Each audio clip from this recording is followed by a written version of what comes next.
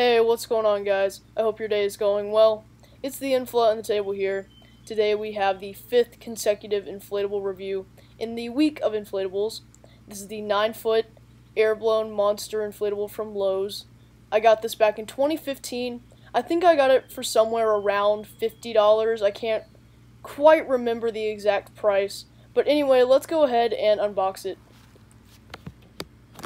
I do not have the box for it. I lost it somewhere. I don't know where it is.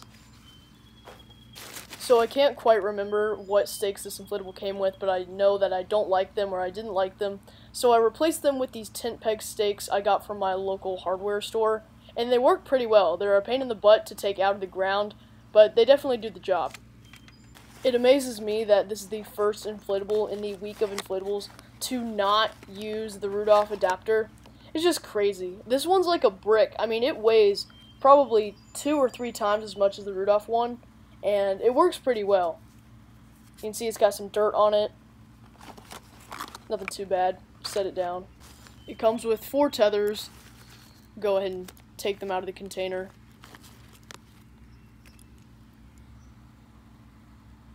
Lay them down. Go ahead and try to at least dump the inflatable out of the plastic tote. Go ahead and spread it out here. Kind of just roll it. That worked out pretty well.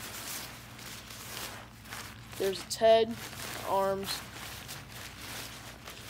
Spread it out as much as I can. Or as much as my patience will allow me to. Yeah, that'll be good. I'll go ahead and put the adapter box, the stakes, and the tethers back in the plastic container because they are taking up a bit of space. Not really space, just they're kind of an eyesore when I actually inflate the inflatable. So now I'll go ahead and plug the wire into the adapter.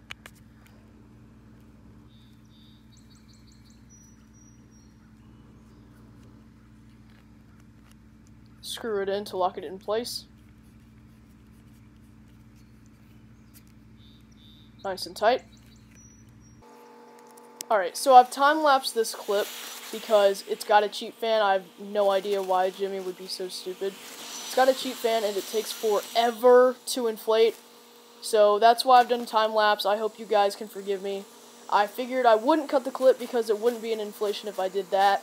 So I figured I would compromise and do a time-lapse because I want this video to not go by fast, but at least be swift in its editing and um, overall just visuals. Here's its shoes or feet, mainly just stabilization. And its purple pants. It's got an orange shirt, and when the shirt and the pants meet, Gemmy wanted to, I guess, create a torn effect, so they kind of just cut in these triangles. Here's its arms. They're in the Frankenstein motion. I don't really understand why Gemmy just didn't call this Frankenstein.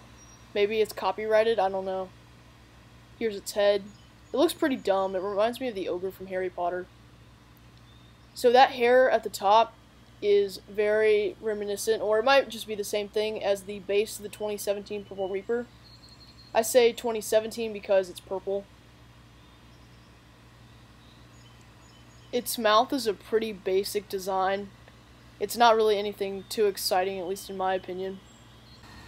It's got four tether loops in total, two on the top, and then two on the bottom.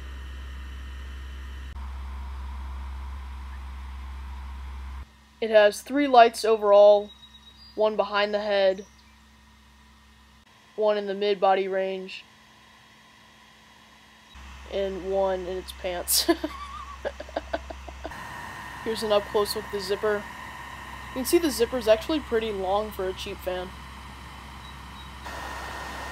Here's the dreaded cheap fan. I have no idea why Gemmy didn't put a freaking base fan on it. Such lazy people. Here's a side view. In my personal opinion, the side view shows how tall this inflatable really is. I mean, it's a 9 footer, it's big. Here's the back view regarding its height, I mean, that only adds to the argument of why doesn't it have a base fan. Here's me standing in the road, zoomed in on my camera. This is a really good shot.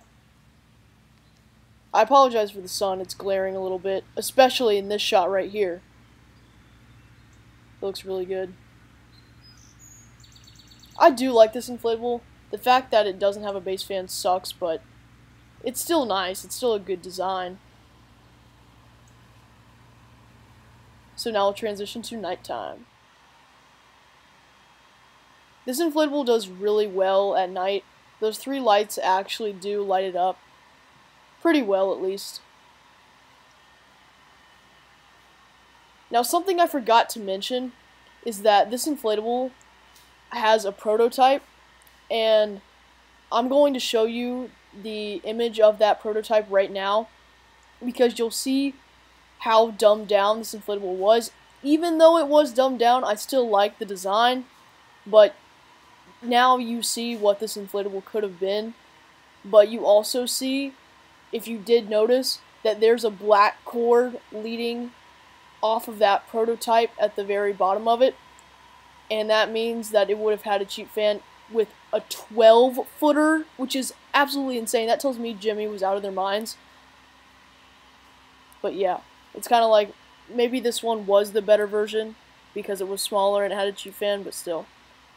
I really hope you guys enjoyed my review of the 9 foot monster Frankenstein inflatable. If you did, please leave a like. If you are new to the channel, subscribe. And I will see you guys next time. Peace out. Stay safe. Bye.